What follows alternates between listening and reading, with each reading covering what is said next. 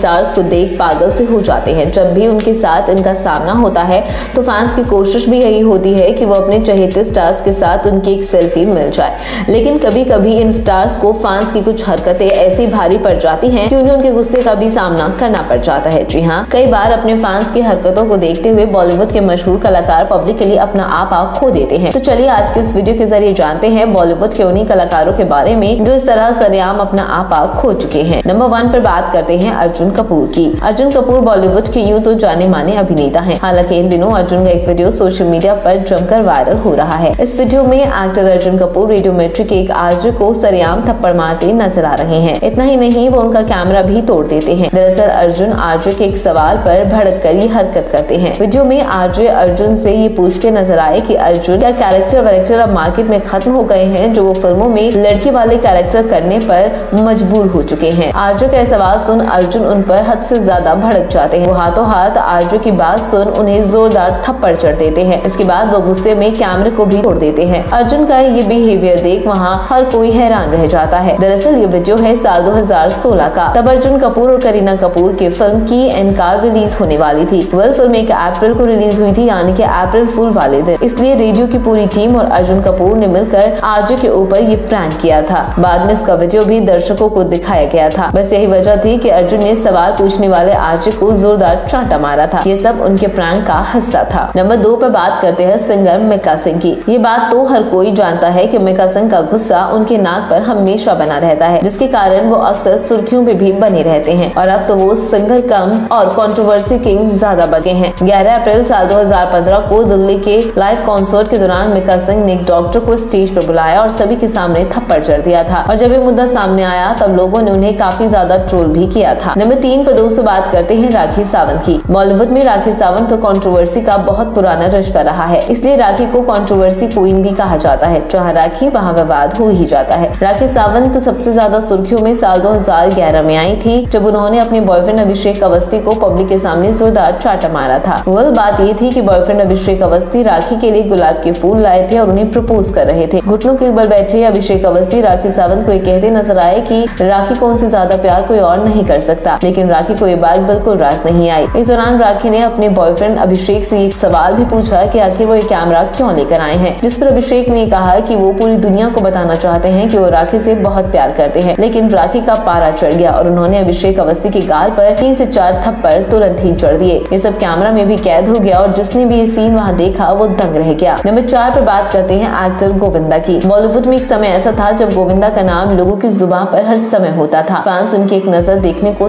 तरसते थे, लेकिन एक बार उन्हें भी अपने फैंस की हरकतों का शिकार होना पड़ा, जिसके कारण गोविंदा ने अपना आपा खो दिया। इतना ही नहीं, उन्होंने फ़िल्म के सेट पर ही अपने फ़ैन को थप्पड़ भी लगा दिया था। ये घटना तब हुई जब वो फ़िल्म मनी है तो हनी की शूटिंग कर रहे थे। नंबर पाँच पर बात करते हैं एक्ट्रेस नगमा की। बॉलीवुड अभिनेत्री नगमा जब से राजनीति में आई है मानो विवादों से गहरा नाता बन गया हो। मेरठ लोकसभा सीट से कांग्रेस उम्मीदवार नगमा को कई बार भीड़ की बदसलूकी का सामना करना पड़ चुका है। सभा में आए लोग नगमा की खूबसूरती को देखने के लिए बेकाबू हो जाते हैं। एक बार ऐसा ही देखने को मिला था जब सरेआम नगमा से बदसलूकी की गई थी, जिसके बाद नगमा भी भड़क उठी थी और उन्होंने बदसलूकी करने वाले को ज़ोर का थप्पड़ सरेआम जड़ दिया था। उसके बाद नगमा बीच में ही जनसभा को छोड़कर भी चली गई थी। वेल दोस्तों, आप हमें कमेंट करके ज़रूर बताएँ कि बॉलीवुड के इन दिग्गज कलाकारों के इस गुस्से पर आपका क्या कहना है? क्या इस तरीके से पब्लिक के लिए अपना आपा खो देना सही बात है या फिर गलत? अगर आपको हमारी ये वीडियो पसंद आई हो तो आप इसे लाइक कीजिए और शेयर कीजिए साथ ही टीवी इंडस्ट्री और बॉलीवुड इंडस्ट्री से जुड़ी ऐसी ही चटपटी और मसालेदार खबरें जानने के लिए आप हमारे चैनल को सब्सक्राइब करना बिल्कुल ना भूलें।